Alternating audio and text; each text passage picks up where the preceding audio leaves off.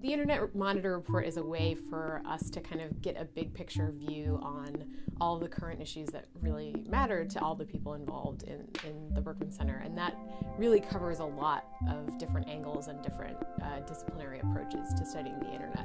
The section's called Public Discourse, and that was basically about how communities have conversations online, how those conversations play out, and how technology mediates those conversations.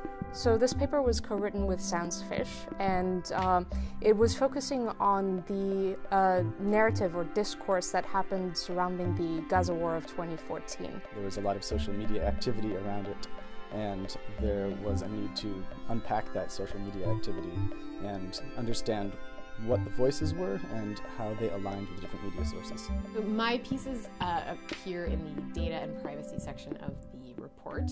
Uh, one of them is a uh, piece about mapping the data ecosystem. My essay is about um, privacy in the context of human subjects research.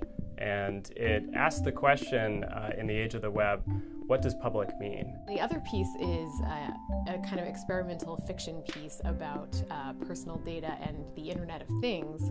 And in it, I talk about how uh, my fridge uh, basically is predicting a pregnancy. I think it gives you a great snapshot of what's been going on in the last year, and also it gives you some insights into what are the interesting things that other people are studying.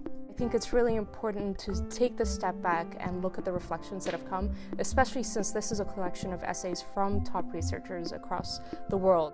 This report is important to read for um, people who aren't in the Internet and Society domain because it gives them a very 30,000 foot view look at what's going on on the internet and how communities are forming and how conversations are playing out.